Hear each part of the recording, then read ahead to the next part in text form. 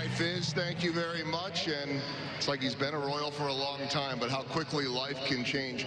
Ryan, I want to ask you, I mean, there's no topping game one in the big leagues, but how was night number two for you? Oh, it was great getting that second win, um, having these amazing fans come out and support us. It's been awesome, man. Uh, I've been here for three days and feels like home already.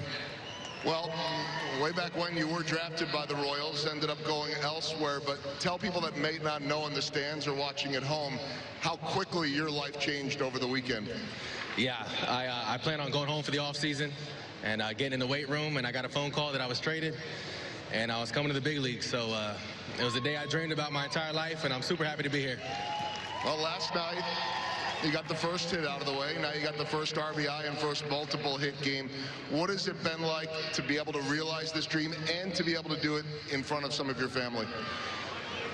There, there's honestly no words that I can, I can tell you right now how it feels. Um, it's unbelievable. It's truly a blessing to be here, and I'm super excited. Last thing, you haven't seen any losing. They've been winning since you got here. What are you seeing from this team?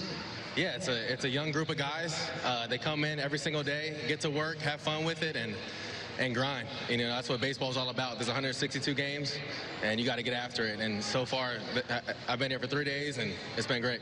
Well, you're officially a part of it. Welcome to the Royals. Welcome to the big leagues. Great job tonight. Thank you. I appreciate it.